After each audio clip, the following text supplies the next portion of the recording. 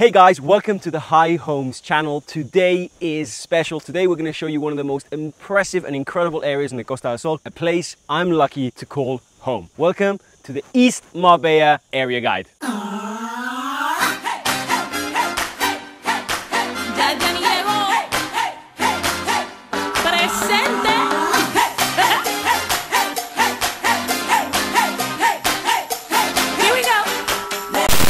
So to start this area guide, we've brought you here. We are currently in the hills of La Mairena and this vantage point is perfect to overlook all of East Marbella. That is East Marbella. So East Marbella is a stretch of 11 kilometers starting from Rio Real all the way to Cabopino and it's connected point to point by the A7. East Marbella is made up of the following neighborhoods. Rio Real, Torre Real, Los Monteros, El Rosario, Elviria, Cabopino, Artola, Marbesa, and Hacienda Las Chapas. Come along, join us. We're gonna drive to all these locations. We're gonna show them to you one by one. Let's go. You know you're in Rio Real when you see that tower or that tower. So Rio Real is located just one exit from Marbella. Marbella is just there. It's just a few minutes drive. You have the beautiful beach of Rio Real with famous El Trocadero and you have the Rio Real golf course, a very, very famous golf course on the coast. With an incredible mix of nationalities, we have mostly people that live all year round. It's a very green neighborhood filled with high-end properties like the ones behind me. In the most recent years, it's home to very high-end residential developments and it will be home to Marbella's own Four Seasons Hotel, which is soon to be developed. Are you a beach person? Welcome to our next stop. We are in Los Monteros, the la creme de la creme location for people that want supreme properties and to live in total privacy and tranquility. Los Monteros is divided into three residential areas. You have Los Monteros Beach, where we are driving right now. You have Santa Clara Golf, and you have Altos de Los Monteros.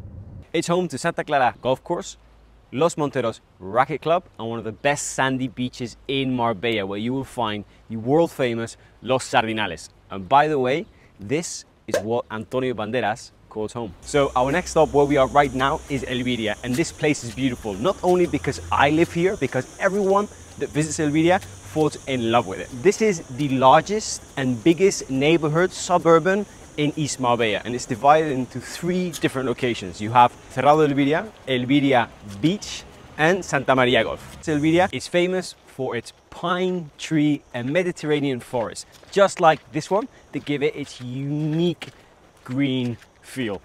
And as you can see, beautiful walkways throughout.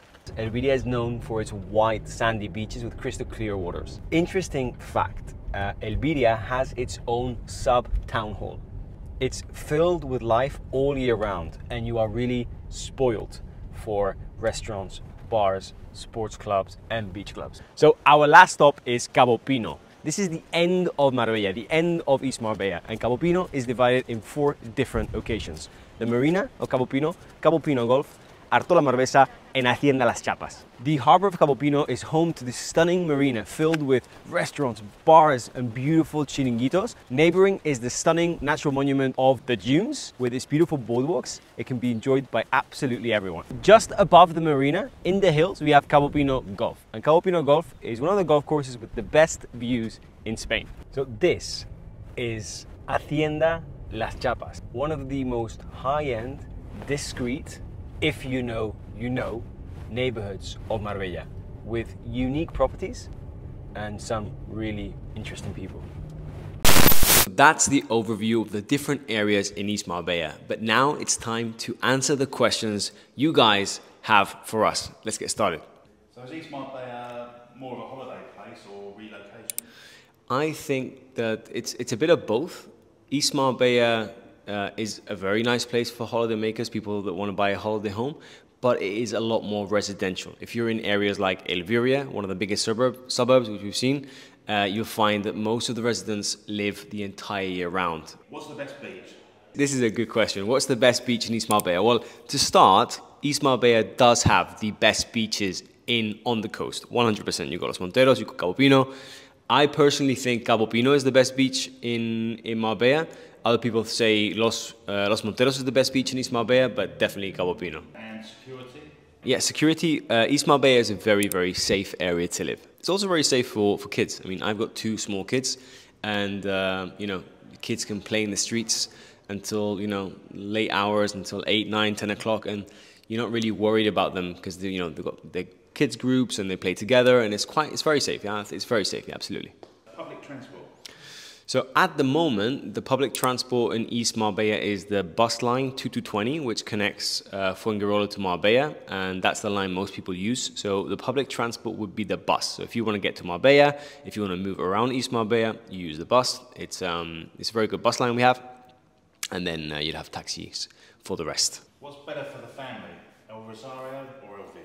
Okay, so El Rosario or Elviria for a family. I'd say Elviria would be would be nicer for a family. Uh, it depends of your style, depends of how you live, right? So Elviria is very suburban, and El Rosario is suburban but hasn't got the same facilities. If you go to El Rosario, you would have a commercial center at the bottom uh, where there's some restaurants and, and cafes, but not much, uh, and a supermarket. In Elviria, it's a real suburb with everything. So you've got the small town hall, you've got the small center, you've got supermarkets, you've got offices, you've got everything. So I think for a family day to day, Elviria will be more suitable. But again, everyone's style is different. Yeah. Who is East Marbella for? East Marbella is for everyone. Um, I think East Marbella can work for families. East Marbella can work for um, you know couples. No, it doesn't really matter of, of, of age. It's a very relaxed place to live. Um, I mean, if you want urban urban life, you're better off buying in Marbella center or in a central area. But I think East Marbella is the best suburban life you can buy on the coast. It's um, also for someone that wants a certain quality of life and tranquility. So tranquility, but still within striking distance to, to amenities and to, to cities, no? So um, yeah, it's, it's definitely got something for everyone. So schools, um, yeah, so schools in East Marbella, starting from Rio Real towards Cabopino, we would have uh, EIC, English International College, which is a great international private school. Uh, Alboran, which is a, a Spanish private school, very, very good as well.